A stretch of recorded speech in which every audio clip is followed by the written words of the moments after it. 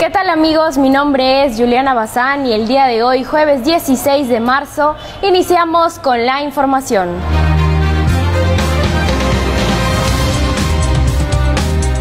Por disposición del gobernador César Acuña, 5.000 bolsas de alimentos adquiridos por el gobierno regional están siendo distribuidas para las familias en las zonas más afectadas por las lluvias en la región.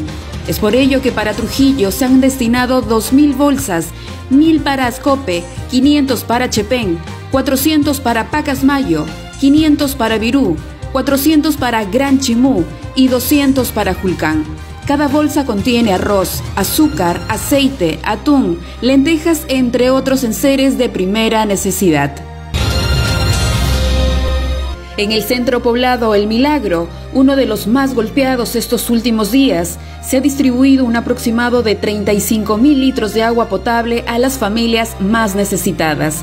Es así que se ha beneficiado a los sectores 1, 4, 4A, sector 10 La Molina y sector 3 Asimismo, una motoniveladora, un tractor oruga y una excavadora vienen haciendo trabajos de limpieza ya firmado desde cuatro suyos hasta el Badén. Recuerden que seguimos enviando ayuda humanitaria y víveres a los sectores afectados a causa de las intensas lluvias. Nos esperamos el día de mañana con mayor información.